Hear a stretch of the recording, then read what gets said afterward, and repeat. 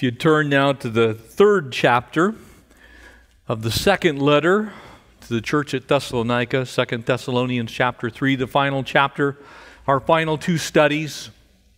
And Paul is now going to give some final words.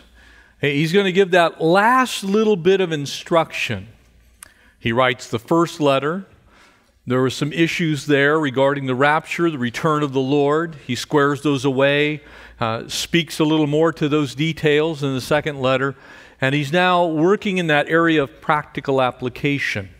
In other words, what do we do with these things that we now uh, know to be true? And he's going to begin uh, really with a, with a look at stability, because we are, as I said last Sunday, often tempted to be a little bit like jello we kind of wiggle, we kind of move, we kind of, when pressure comes, we uh, are pushed away sometimes by that pressure. And so he's going to give us some keys here in these final verses on how to live victorious lives, and he'll do so by beginning and asking for prayer for himself and for his team. Don't be afraid to ask for prayer. I think sometimes we have not, exactly as James wrote, because we ask not. We, we're not in contact with the King of Kings, the Lord of Lords, the Lord of Hosts, the glorious God of heaven. Uh, and so we try and do things on our own. And more importantly, we don't entertain others getting engaged uh, with us so that they can ask for those things for us as well. Paul begins by asking for prayer. And while Paul begins that way, we shall as well. Would you pray with me as we take this final chapter to the Lord? Father, thank you, thank you, thank you for this beautiful congregation. Or these amazing saints that have come to hear from heaven. Lord, not from my lips, but from yours. And pray that you would just use your word now to strengthen, encourage, and bless us as we study it together. We ask these things in Jesus' name. Amen. Verse 1, 2 Thessalonians chapter 3. Finally, brethren, so he's beginning now the actual conclusion, uh, really to both letters to the church at Thessalonica. He's giving those final tidbits of instruction as he, as he would speak to this church. Now, I want to remind you, because the, the setting is important, Paul is writing from the city of Corinth in southern Greece, all the way down on the edge of the Mediterranean. It was known at that time uh, pretty much like Sin City, if you would. It was a very carnal place, so much so that people who were from Corinth uh, were generally believed to be a little bit worse than everyone else in the area of flesh and debauchery. And in fact, if you were not from there, but you lived a life that was kind of out there, you were said to be Corinthized. In other words, it had a bad reputation. And so Paul's writing these words of encouragement from a place that would be pretty tough to write words of encouragement because he was immersed in a culture that was anti God. We're immersed in a culture that's anti God. Amen?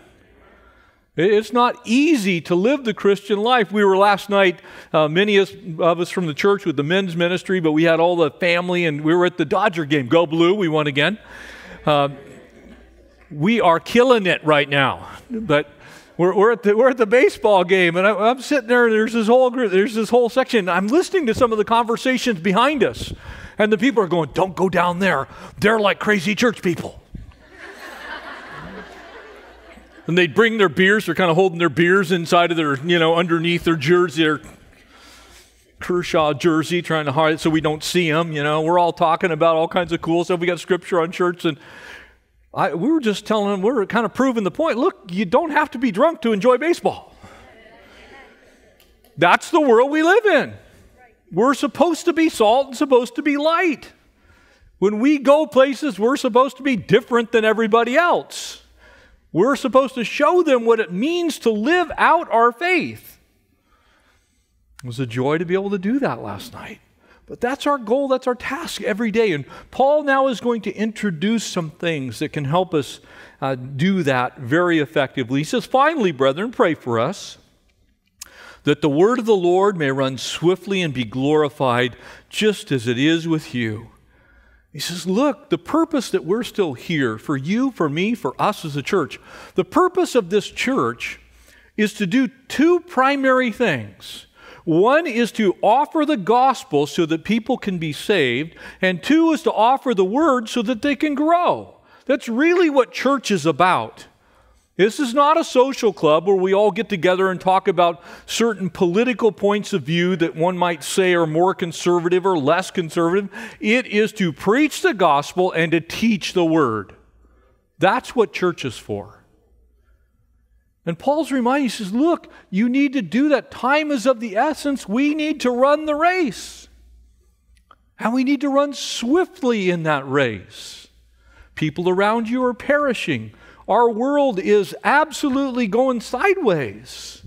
Now, praise God, we have an opportunity to affect change in that world that's upside down. We can make it and help make it right side up. But we have to run to that. We must do it now. Time, in essence, is of the essence. We, we, don't, we can't wait around.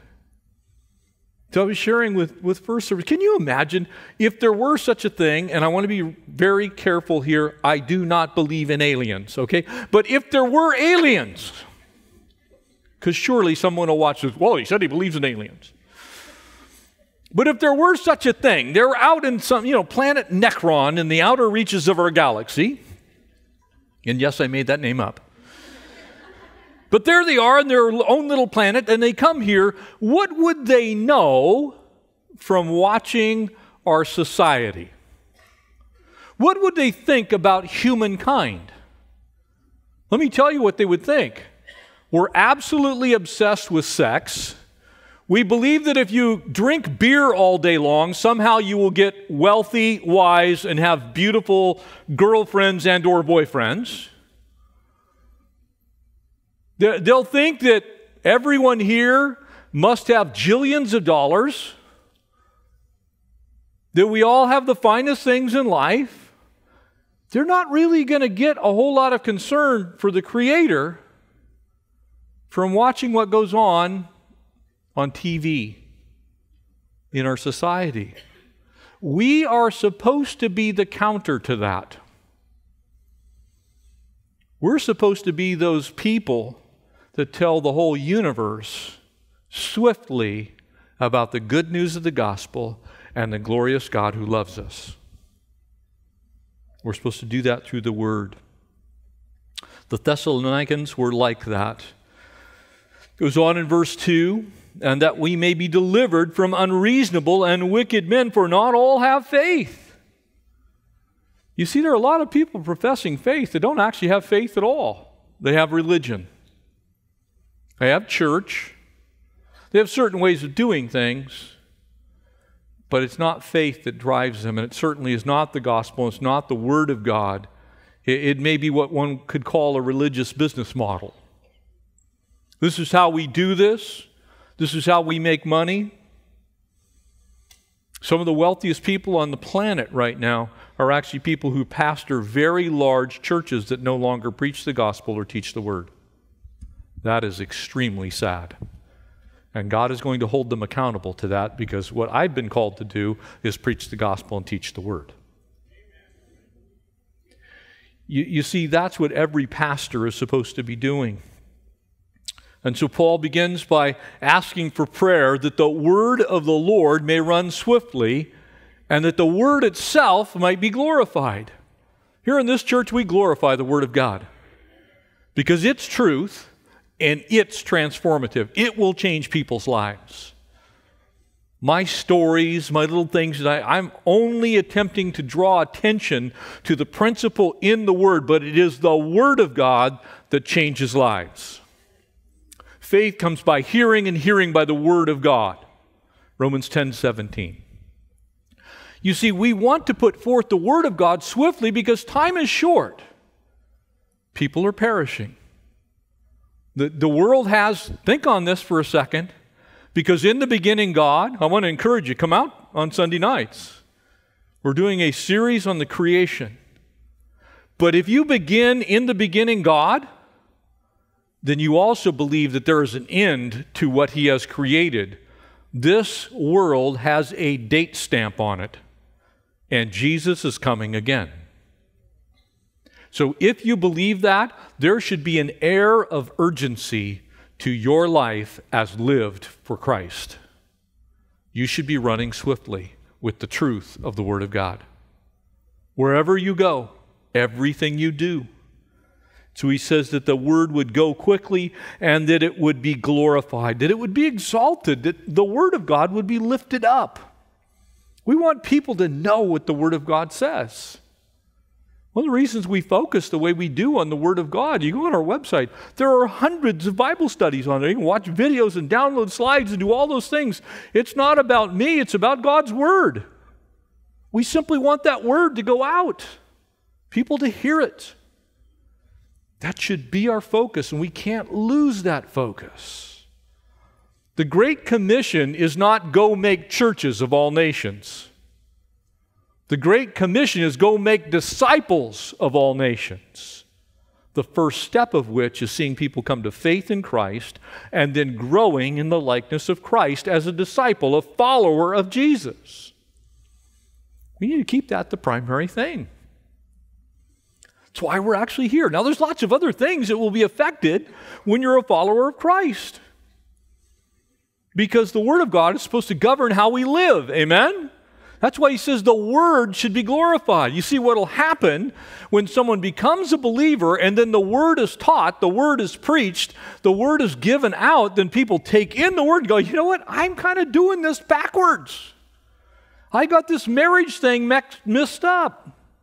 I, really ought to give up that behavior because Scripture says that it's actually an affront to God. You see, the Word does that. Social change, while noble in its endeavor, can't happen unless the heart is changed. It is the heart of man that's deceitful and desperately wicked, and who can know it? It's not that we don't have adequate programs, it's that we are not seeing people's lives transformed, and consequently, the internal problem remains in place. That's the issue. That doesn't mean that social things shouldn't be done, shouldn't be tried. It simply says there's a deeper issue, and that deeper issue is the heart of man. We need to go after the heart of man with the gospel and with the good news of the Word of God. But you know what? That's a risky race. It is absolutely, uh, it's going to cause you some problems when you begin to share the gospel.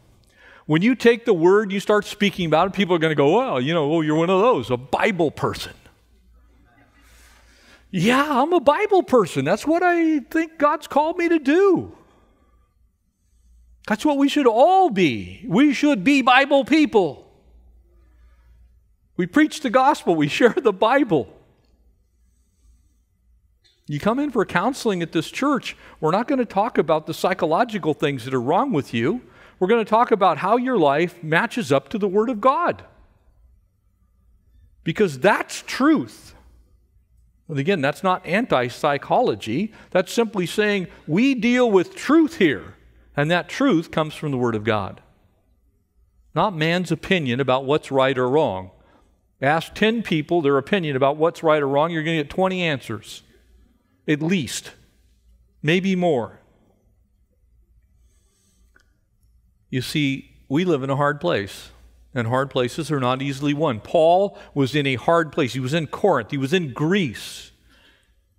He was, in a, he was in a city that idealized many of the same things that our society idealizes today. And they're not good. They can't help. They can destroy, and very often do.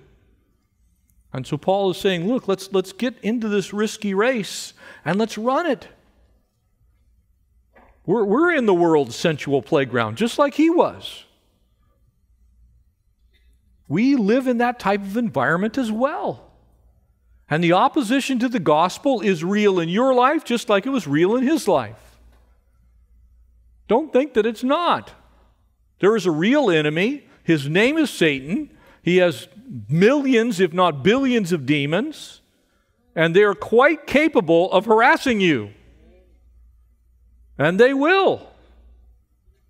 Get ready for it. Here's the good news greater is He who's in you than He who's in this world. So you rest and trust in Jesus. You put on the full armor of God and then get ready to fight. Now, I don't know how many of you actually like a good challenge. I happen to like a good challenge. I'm one of those people. Tell me it can't be done, that's my cue. Okay. I'm just weird that way. But spiritually, we all need to be that way. Because the fact of the matter is, people are going to spend eternity in hell if we don't offer them the truth of the gospel. So let's make sure that we take that seriously. It's a challenge. You probably have some challenging people in your life. Amen? Got some people that don't want to hear the gospel? Got some people that don't believe the Word of God's true? It's going to be a challenge, and they're going to get fed a lie. If you're currently, if you have children in public school, and this is not bashing public school, I happen to believe that we need Christians in every area of education, including public school. But I guarantee you, when they get to college, college professors are going to try and tell them that there is no God. And they're going to do it through the theory of evolution through secular humanism. And you need to know the truth. That truth comes from the Word of God. You can either believe what it says or not. And if you believe it, then you need to teach it. You need to tell people the truth. It's a risky race. You're going to have to risk looking like a fool. Exactly as Paul said, I am out of my mind for the sake of Christ. Yep, to the person who's perishing, the gospel is foolishness, but to him who's being saved, it is the gospel of God unto salvation. Don't back away from that. Don't give in. Get in the risky race and run it. Unfortunately, verse 2 reminds us that very often some of our strictest and, and, and most stringent uh, opposition comes from within. Notice what verse 2 says that we may be delivered from unreasonable and wicked men, for not all have faith. You're going to face opposition from people who claim to be Christians.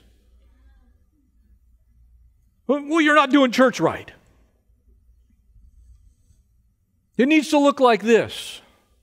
You're going to have on one side, you're going to have the libertines, and on the other side, you're going to have the legalists. And the legalists are going to be going, well, you're not, you know, you're just not hammering sin enough. So every week there in that church, you're going to get hellfire, brimstone, death burning, and you're just going to die. And on the other side, well, can't we all just love each other? You know, God is love. Now, here's the crazy part there's such a thing as hellfire and brimstone, and God absolutely does love everybody. But somewhere in the middle is where those two concepts meet. You, you, see, an inside job is like this. You got the person who's a legalist who's go, oh, you're not tough enough on sin. And then you got the libertine person who's engaged in active sin, who's like, well, you know, could you just lighten up? I mean, after all, I, I mean, I've been fornicating a long time. I've had people say those types of things to me. Look me right in the eye.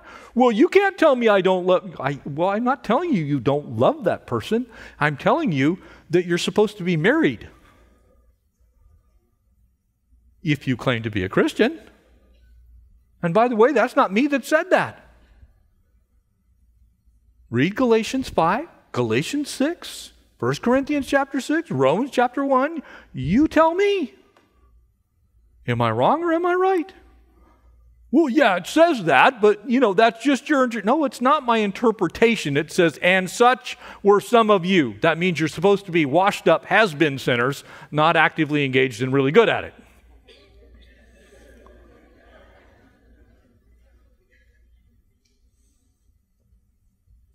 You see, from the inside, people will, well, you know. I mean, come on, lighten up was talking with one of my sons, and we were kind of joking back and forth, and he was reminding of, of a class that he took in Bible college, and and it's so true what he said. He says, "You know, there are times when I'm a complete Calvinist." Grace of God all the way, God's sovereign plans. And there's times when I'm an Arminian. It's like, man, you're going to hell. And then I land in the middle. You know, there are people that need to hear about the grace of God and the love of God, and you need to know that they need to hear about the grace of God and the love of God. But there are also people over here that need to be told that, look, you're in sin, and if you don't flee that sin, how can you say that you've repented? If you haven't repented, how can you ask for forgiveness for something that you stay in? You see, both are true. So be careful, because from within, you're going to get accused one side versus the other. Don't let them move you.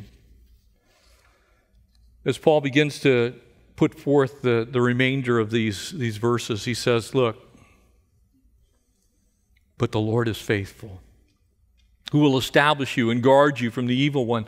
As the evil one comes against you, there's three principal things that Paul is praying for in our lives, and they're very simple. We need to be established. We need to be strengthened. We need to be built up. That's hopefully, prayerfully, what we're doing right now.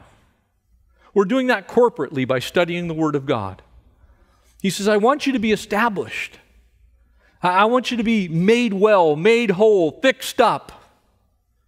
I don't want you to be moved. I want you to be strengthened in your position. The Lord is faithful because God's going to guard your heart. He, he's going to take care of that attack from the evil one if you're willing to be established.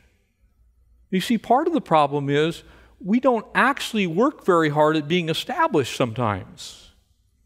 So we give ourselves over to be open to hearing falsehood. Well, that suits the way I live, so I'm going to agree with that group of people. You can find any sinful behavior, pick it. It doesn't matter which one it is. Pick a sinful behavior, and you can start a club of Christians who are engaged in that particular behavior who will all agree with you it's okay. That's a fact. You can start a church where, well, you know, we just believe it's okay to do this particular behavior and name it. We are the first church of liars. You'll find people to join your club. You get people well, you know, I mean, I've told the truth my whole life. It's gotten me nothing but a black eye. It's got me beat up. I've gotten all these things wrong. Every, so I just started telling lies. My life got better. So, from the circumstantial evidence, God's word is not true. Because one of the very last things that's in there is all liars will not inherit the kingdom of God. Ow! You see, so we're supposed to be people of the truth. God is faithful to his word. We just simply need to do it. The second thing he says, Look, I want you to direct your hearts towards the love of God. You see, you have to be truthful, but you have to have that truth in love, exactly what Ephesians 4 says. Speak the truth in love. Don't just beat people up with the truth, give them the truth, and then give them the solution to the things they might be struggling with. That God does love them. But God loves them enough to want to change them. Uh, that they can be transformed by the renewing of their mind. See, sometimes we just give people the bad news and we forget to give them the good news. And sometimes we give them the good news, but we forget to tell them that the other side of that is you really actually need to change. Can we please land in the middle? That faithful God is faithful to confront sin, and He's also faithful to offer the gospel as the answer. So let's rest in that truth. God is forever faithful. He wants to build that character of Christ in us. Scripture is replete with those admonitions. Or in 2 Timothy chapter 2, it says, God is faithful even when we are faithless. So his faithfulness is not dependent on your faithfulness. His faithfulness is always there, even when we are unfaithful. So you can rest and trust in him. God is forever faithful. Paul's going to wrap up these first few verses by speaking about something. Can I just tell you? I hate church discipline. I personally hate church discipline. I don't like confronting problems. I really don't. But can I also tell you it's part of my job description? Because when you know the truth, you have to live the truth, otherwise, the truth becomes untruth. Because somebody will believe what you do over what you say. And so he picks up and he says this. He, he's, he's speaking now to the heart of an issue because he says, Look, I want you to direct your hearts towards the love of God and to the patience of Christ. But we commanded you, brethren, in the name of our Lord Jesus Christ, in verse 6, that you withdraw from every brother who walks disorderly, not according to the tradition which you received from us. Ouch! You see, when you first read that, that's going to be a really small church. If what we're talking about is sinless perfection. If what we're talking about is you get out your sinometers and walk around church. Eh, wow, this section over here is that's whoa, that's really going up. You see, he's not talking about wandering around the church trying to figure out who's got what problem and then confronting it. He's talking about when you personally hear about something that's going on in someone's life, that you're supposed to go address that in a biblical manner so that they can be restored to fellowship first with God and then with people. But we run with verses like this well, we're supposed to kick out the, the brother, the sister. Look, if that was true, most churches would have two people in them. That would be the church secretary, because she actually does all the work. You didn't like that? It's true. Inside the front office, so much goes on there that you never see, and you're all beneficiaries of it. But you see, there, there would be a handful of people that would meet that criteria, that standard of sinless perfection. None of us would meet that if that's what this was actually talking about. You're all going to fail at that. So it's not talking about just simply dealing with every single thing in a legalistic way, because on one hand, you've got the legalists, on the other hand, you have the libertines. On one hand, there is no, you know, this group over here saying, like, well, you know, we're just going to be perfect.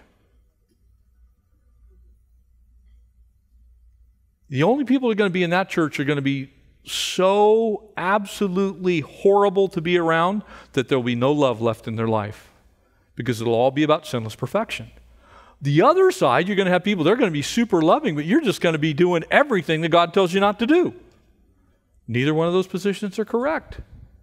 And so he says, Look, you're supposed to withdraw from somebody who's walking disorderly, not according to the tradition, in this case, the Word of God.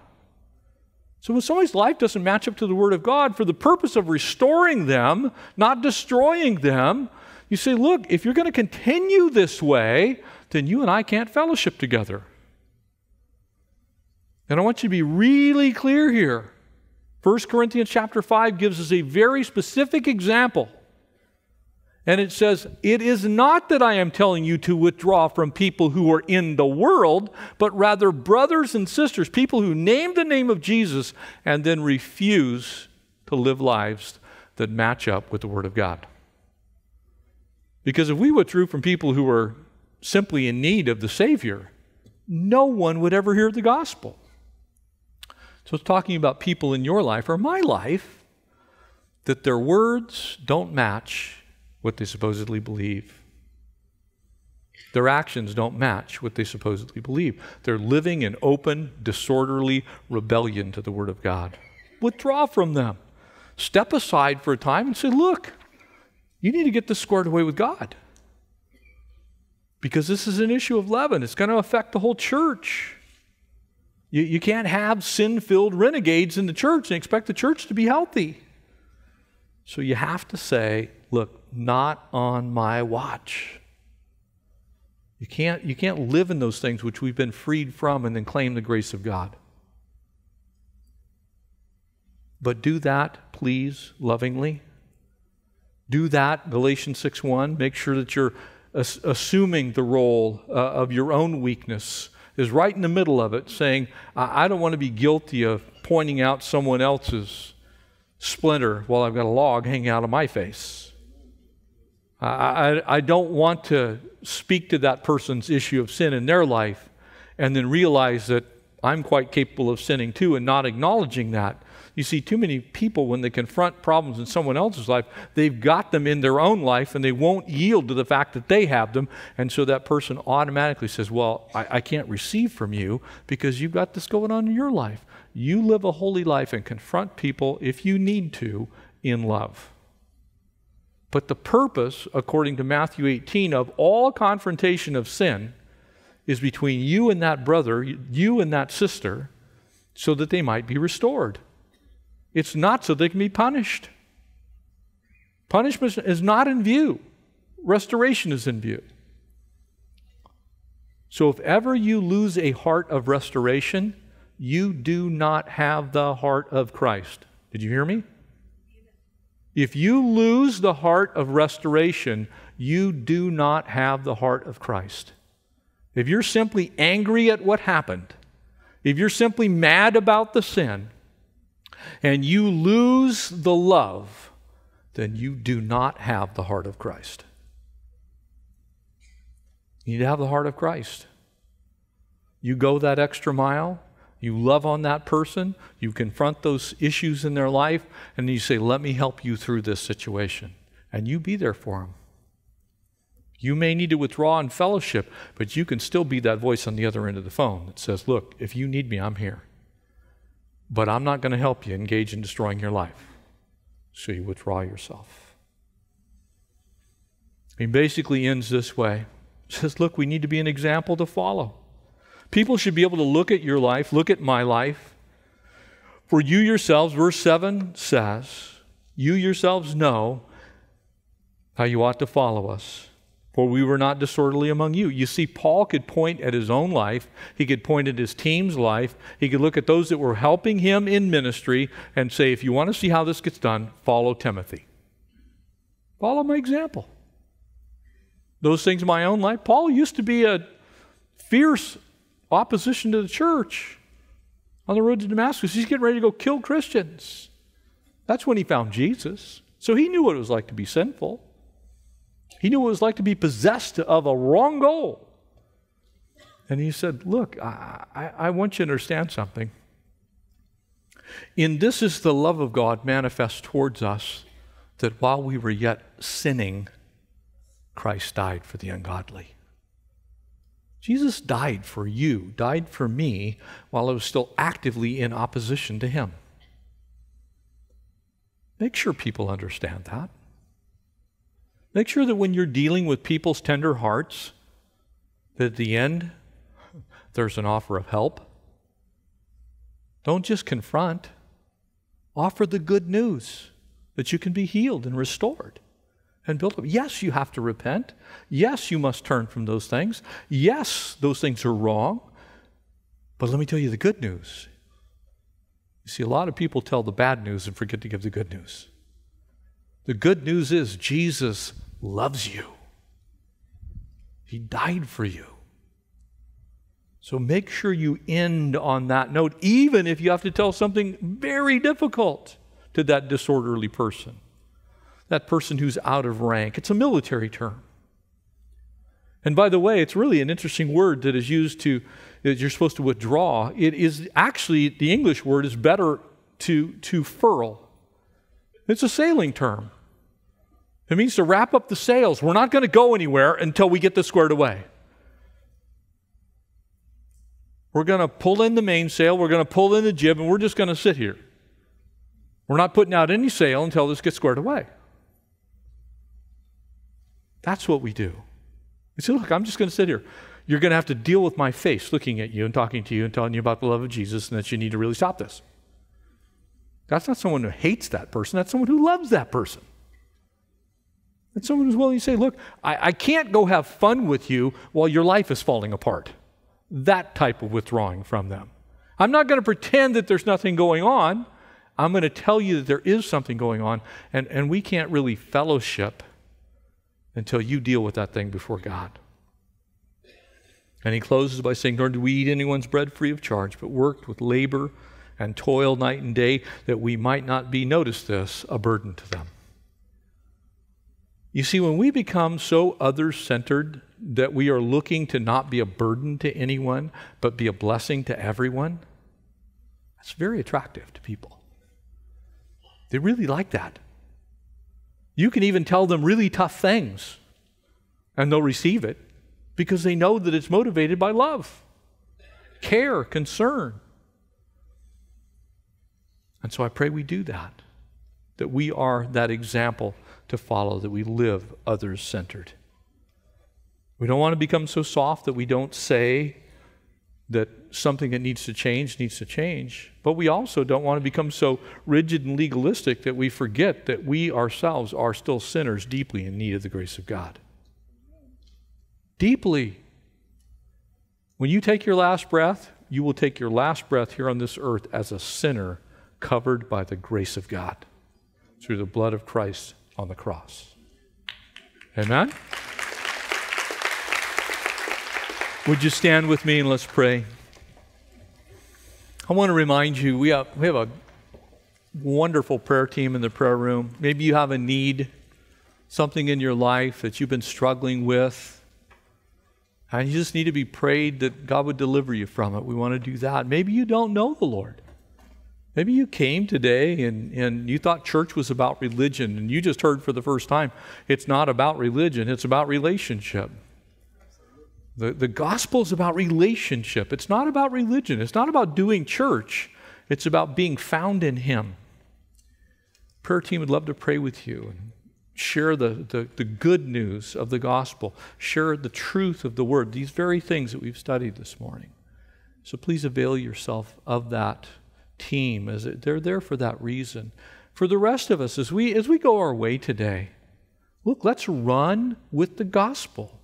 Let's run with the Word of God and let's go be an effect in our world for the cause of Christ because time is short. Amen? Father, we thank you for your amazing love. Lord, thank you that while we were actively going the wrong way, uh, you drew us to yourself and you saved us through Jesus. We bless you for the gospel of grace. We thank you for the love. Lord, want to pray for anyone that's struggling this morning. Lord, whatever it is, Lord, would you meet them in that place of, of conflict and confusion? Lord, with the truth of your word, with the power of your loving hand, your gospel. God, help us to flee that which would bind and cling to that which is good. Lord, we love you. We thank you for this beautiful time this morning. Pray that you would bless us as we head out through these doors. Let us run swiftly with the gospel that it might be glorified. In Jesus' name, amen.